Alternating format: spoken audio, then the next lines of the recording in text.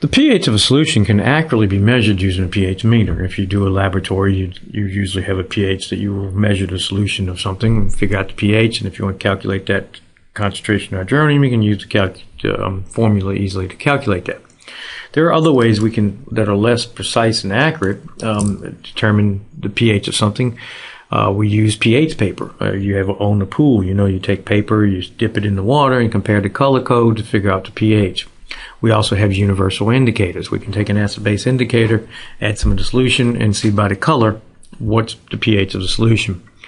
Uh, there, uh, a good universal indicator would be red cabbage. If you boil red cabbage and take that juice, it changes color along the whole pH range. If you know what that range is in color, you can test the pH of something to that color code and figure out what the pH of it is. You're familiar with other indicators that are used, uh, say phenolphthalein. You use that typically with an acid-base titration, and it turns pink. Okay, you got to realize that one. It's not a universal indicator because it's only got a small window where it changes color, and that's typically between 8.5 and 10.5 pH units. So typically, after you neutralize the species, okay, reach the equivalence point, one more drop of that titrant or base will kick the pH up in that 8.5 to 10 range, and it turns pink, which tells you to stop titrating because you're at the end point. Okay.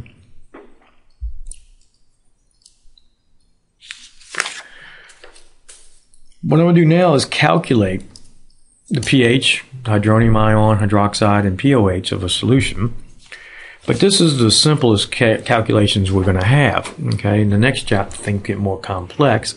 So what I want you to do is think about this as a process as you as you do these problems so I want you to ask yourself some questions as you work through these, because eventually they're going to get harder. Okay, you're going to have to do these calculations as well as other calculations when we get to the next chapter.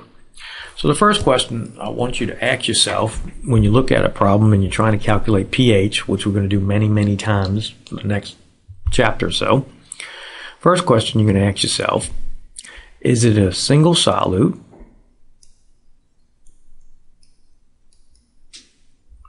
or is it a reaction? Okay, is it a single solute or reaction? If it's a single solute, then it's straightforward and keep on going. If it's a reaction, then you're going to have to do a neutralization process to figure out what's left, figure out new concentrations, and then do what we're doing here. Okay, so that's an important question. Now, naturally, we haven't done any reactions yet. So, in this case, yes, it's a single solute. Okay. But my process here is I want you to think about all these problems as they look exactly the same. And the answers to your questions is going to steer you in the direction of how to work it. Okay, you don't want to memorize different procedures. What you want to do is look at it, ask the questions as you go, and let dic- that dictate how to work the problem. Okay, so first question, single solute or reaction? Single solute. Second question, is it an acid? Is it a base? Or is it a salt? Mm-hmm. Okay, acid, base, or salt. Each one of those we're going to handle differently. Okay, well, in this case, it's an acid. HCl is an acid. Okay, if it was a salt, there's other questions we're going to ask. But if it's an acid or base, then we move on to the next question. Okay, since it's an acid, the next question is is it strong or weak? If it was a base, same thing, strong or weak. If it's a salt, then we do something else. As I said, we'll talk about that later on in chapters to come. So in this case, HCl, strong or weak acid. Strong acid. Okay. Why is that important to me? Because I know if it's a strong acid, what happens to a strong acid? Breaks up 100%. That's going to make my calculation a lot easier. If it's a weak acid, it doesn't break up 100%. It's less than 5% which means I got an equilibrium expression, which means I'm going to have to do a K problem to solve that before I can move on to calculate the pH. So it's a case of thinking about how this problem is going to have to be attacked. Okay, so strong acid, this is the easiest case. Okay, as I said, next chapter things will get a little bit more difficult. Okay, so now I know it's a strong acid. My next step will be to write my reaction, to write my hydrolysis. It's important to do that because it tells you what are your products, but you know what you're looking for, hydronium, hydroxide, whatever. So basically it keeps you in line that you don't make those careless mistakes where you solve for something and call it hydronium and really it's hydroxide. Write the reaction. Take the time and write that hydrolysis. which in this case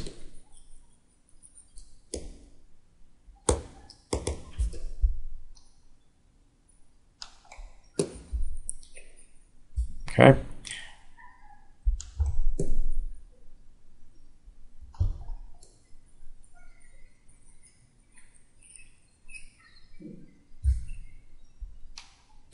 Okay, which in this case would be HCl plus water gives me hydronium ion and Cl minus. Okay, going back to your Bronsted-Lowry um, reaction where your acid's donating the proton and the base taking on the proton.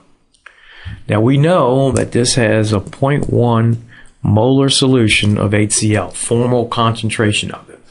But we know that HCl is a strong acid, which means it breaks up 100%, which means that for every one mole of HCl, I'm forming one mole of hydronium and one mole of Cl minus. So if this breaks up 100%, that means that my HCl will be ionized and formed in how much hydronium? one to one ratio. If I got 0.1 HCl, then how much hydronium will I have? 0.1. I also have 0.1 molarity of Cl minus, but I don't really care about that in this problem because that has no effect on H3O plus, OH minus, pH, or POH. Okay? So this, in essence, is telling me my first answer. This is my hydronium ion concentration. That is one of my answers. That's my first answer I'm looking for. Okay. So as a strong acid, it's a straightforward calculation. Okay. It's a one to one. So if I know the amount of the acid, I know the amount of hydronium ion concentration. Straightforward calculation. If that was a weak acid, it wouldn't be my answer. I would have to do more calculations to figure out the concentration of hydronium. Okay, so now I know my hydronium. What would be next is how do I calculate OH minus? I'm going to go through KW. Kw is equal to the hydronium ion concentration times the hydroxide. So all I gotta do is plug that into here, divide through, which now gets me 1.0 times 10 to the negative 14th divided by 0.1, which gets me 1 time 1.0 times 10 to the negative 13th molarity for my hydroxide concentration. So that gets me my second part. Now I want to figure out pH and POH. So I'll just go ahead and do pH by going straight through my hydronium ion concentration, which is um, pH is equal to the negative log of my hydronium ion concentration, which is equal to a negative log of 0.10, which is equal to 1. Remember in sig figs, 2 sig figs, so 2 past the decimal. Okay. And to get POH, I'll go ahead and go through 14. We know that 14 is equal to pH plus POH, so subtract my pH on both sides, which gives me 14 minus 1, which gives me 13. I could have just as easily um, took the OH minus concentration and solved for my POH through the negative log of that, but it seems a little easier. I can do the math a little easier in my head, subtracting from 14 and then doing the log in my head. So that gives me my pH as well as my POH. But I do want you at this point to ask yourself one more question. And the question is, does this answer make sense? Okay, does it make sense? We're talking about an acid. What kind of pH should I have if I have an acid? Less than 7. My pH I calculated was 1. So there's a possibility that I have things correct. If I got the opposite above 7, then I know I don't have a chance of being right. I probably made some mistake. POH, OH, switch something or other. Okay. For example, I would have came up with a pH, of 13 that would tell me, hey, I did something wrong. I flip flopped something. Okay. So just because, so it basically should ask that question to see if it makes sense to have, see if you have a chance of being right. If it's the other way, you know you got it wrong. Go find out what you did wrong and fix it.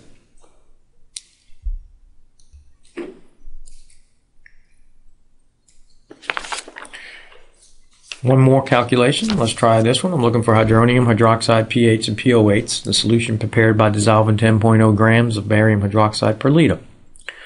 Well, the first thing we got to realize is everything we're doing is a concentration based. That's what these brackets mean, that it's concentration based. I'm giving grams, so what do you think the first thing we're going to have to do? Make it into molarity.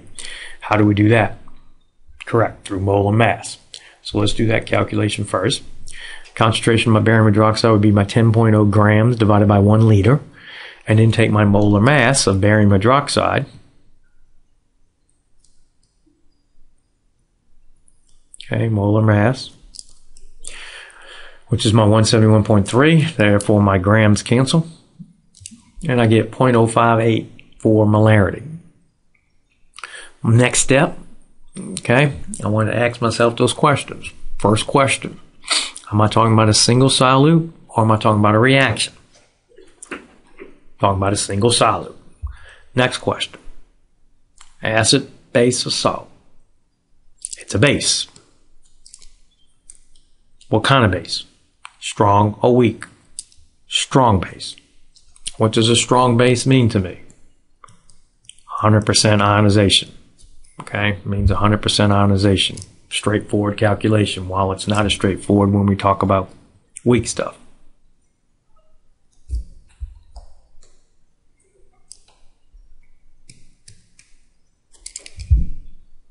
So what's my next step then? Next step, I want to write my reaction. I want to make sure I know what are my products and I know what I'm calculating. So I write my barium hydroxide, ionic bond breaks and gives me barium ions, barium 2 plus ions, and two hydroxide ions. We know that the concentration, the formal concentration of barium hydroxide is 0.0584 molarity. Okay, that's my barium hydroxide. We know it breaks up 100%. So then how much barium do I have if it's a 1 to 1? 0.0584 molarity. How much hydroxide do I have? 0.0584 molarity time 2. Remember, it breaks up into two ions, so there's a 1 to 2 mole ratio between barium hydroxide and hydroxide ion. So my concentration 0.0584 molarity for barium and 2 times 0.0584 molarity for hydroxide. Now, I don't really care about the barium. It has no effect on my hydronium hydroxide pH or POH.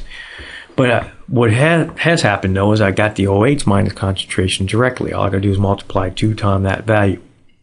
Now, most of what you're gonna do with acid base stuff is gonna be a one to one mole ratio. The only time you're gonna come up with a one to two ratio is when you're dealing with those three slightly soluble bases. Okay, barium hydroxide, calcium hydroxide, and strontium hydroxide. They have very low uh, solubilities, 0.3, 0.4 molarities. Those are the only ones you're going to come to one and two. Now, we don't tend to use that uh, that often because of that monovalent. We prefer to use the monovalent sodium hydroxide and uh, potassium hydroxide. So I can directly calculate my OH minus. 2 times 0.0584 gives me 0.117 molarity. So now I have my concentration of my hydroxide ion. From there, I can go many different ways. But what I chose to do from this point is since I had the concentration of OH minus, I decided to calculate the POH. So I'll take my POH is equal to the negative log of my concentration of OH minus. POH is equal to the negative log of OH minus concentration, which is negative log of 0.117, which is 0.932. From there, I can easily calculate pH through my 14. So pH is equal to 14 minus POH, which is 14 minus 0.932, which gets me 13.07. So now I have pH and I have POH. All I got left is hydronium ion. I can go through to KW with OH minus, or I'm going to select in this case, I'll go ahead and do um, my pH. So I'll do my anti-log. So hydronium ion is equal to 10 to the negative pH, which is 10 to the negative 13.07, which is 8.5 times 10 to the negative 14th molarity, which is my last answer. So I have all my answers. But there's one more thing I want you to do, which is what? Ask yourself, does the question, does the answer make sense?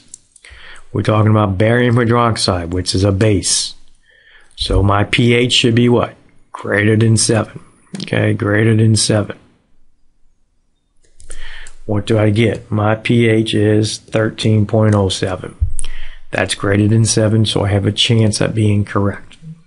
If I didn't, if I got a pH less than 7, then there's no chance I'm correct. Okay, so I want to check that last little bit to make sure that my answer makes sense, that I didn't make any careless mistakes, flip flopping 08, POH, pH, etc. Homework 27. That deals with calculating the pH of strong acids and strong bases. Now realize this is the start of calculating pH. This is, this is the easy part. This is where we're basically walking. When we get to the next section, we'll be running because we're going to have to do calculations of Ka, Kb to figure out the concentration of hydronium hydroxide and then figure out the pH. Okay, these are a little bit easier because they're strong, so we can figure out the concentration of OH minus or hydronium ion uh, directly from the concentration of the acid or base given.